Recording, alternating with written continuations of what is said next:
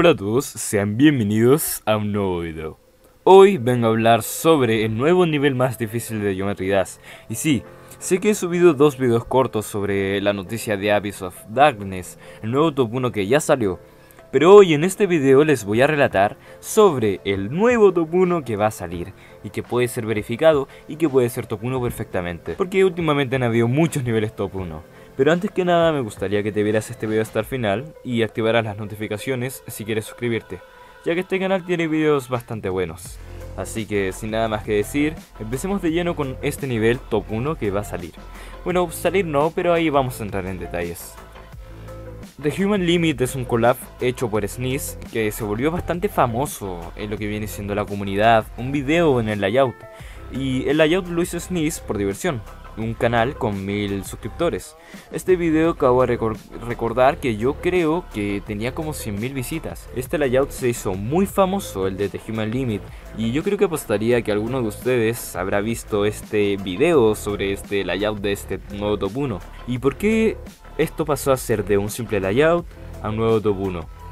Pues bueno, es una razón muy simple y es que esta razón es que, bueno, literalmente el layout, el nivel, al ser tan famoso, al conseguir tantas visitas, el creador de este mismo, llamado Sneeze, decidió hostearlo y hacerlo demon, porque claramente si, lo si hacía eso podría ganar mucho más reconocimiento y lo que viene siendo importancia y también el nivel en sí. Entonces ahora lo están decorando y muchísima gente, bueno, muchísima no, pero principalmente canales gigantescos de showcase como Neiro o FNM08 subieron videos de este, de este nivel de The Human Limit. Y este nivel tiene una canción bastante interesante creada por Korai o Tomboy, como le quieran decir, porque el creador de la música llamado Korai o Tomboy se ha cambiado bastantes veces el nombre, por lo que es medio complicado nombrarlo.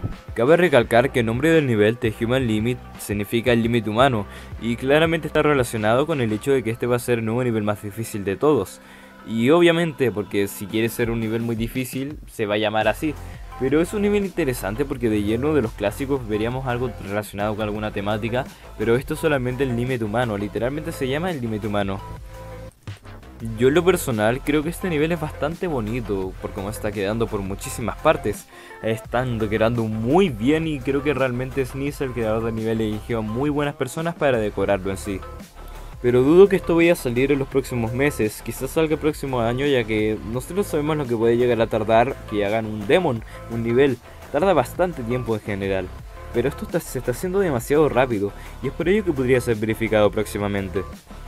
También, como digo, podría ser el próximo top 1 de GD, así que hay que seguir este nivel y aprender sobre él para que cuando salga podamos hacerle una review y una reseña bien hecha y informada.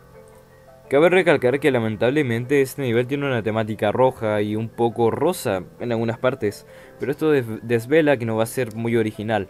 Aunque de ellos sí está quedando bastante bien decorado, pero en GD nosotros sabemos que hay muchos demons, o por lo menos de los más difíciles que están por el top 3 o top 5, que la mayoría tiene mecánica roja, temática roja más bien dicho.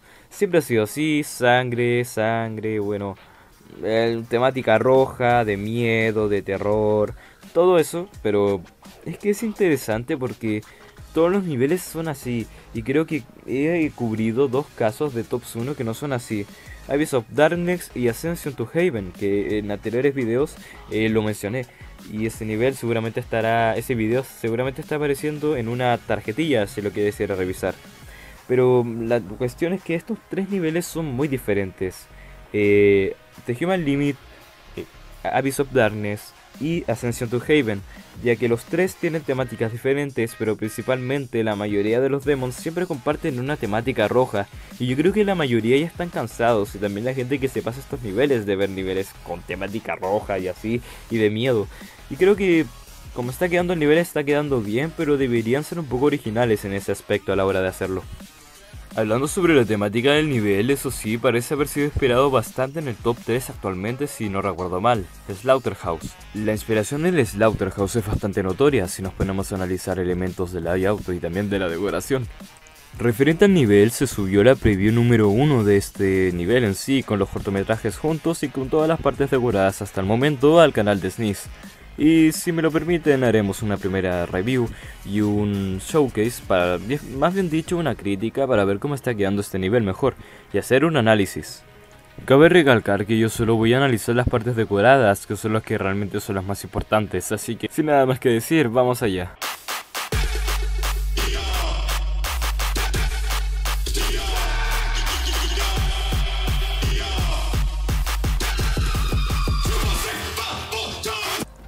La primera es la parte de Encarver, que conserva creo que una aura bastante buena, rosa, no totalmente roja, pero que sigue siendo como aquel demo genérico que siempre hay. Me parece que necesitamos originalidad, por lo menos en Demons, pero en gameplay está bastante bien, claramente porque está hecho por SNES.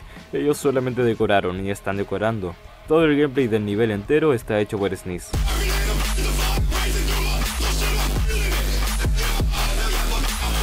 La siguiente parte sería la de Walgani, la que tiene un estilo mucho más original y que de por sí sigue conservando lo rojo, pero me parece bastante original ya que tiene un poco de azul y eso también lo deja muy genial.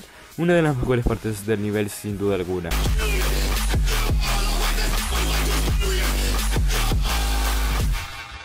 La parte de Pumpkin y Conceal es una de las que me decepcionaron bastante. Lo que estoy hablando aquí es genérico. Muchos niveles son genéricos y conservan literalmente el mismo estilo y las mismas partes.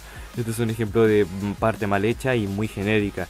Esa decoración no se ve muy bien. Para jugar no creo que sea cómodo y el fondo literalmente es del mismo color que todas las cosas que hay alrededor.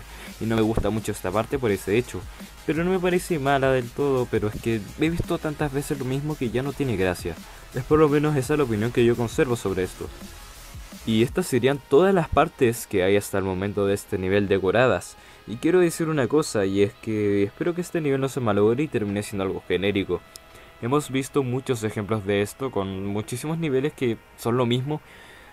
Realmente es bueno que a día de hoy empiecen, empiecen a salir niveles originales, demons más difíciles que no sean rojos, porque realmente eso es un suspiro, es algo libre, algo que realmente tranquiliza, ya que ver tanto lo mismo cansa a cualquiera, creo yo.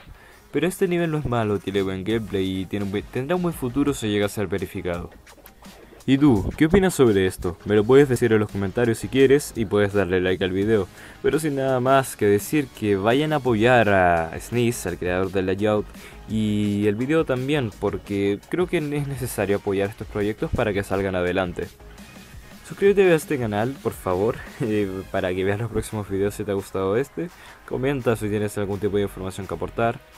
Y si quieres, ve a ver mis listas de reproducciones, ya que tengo bastantes videos interesantes por allí. Este sería el video del nuevo Top 1 que puede salir en los próximos días, bueno, los próximos días a meses, pero creo que se entiende el ejemplo.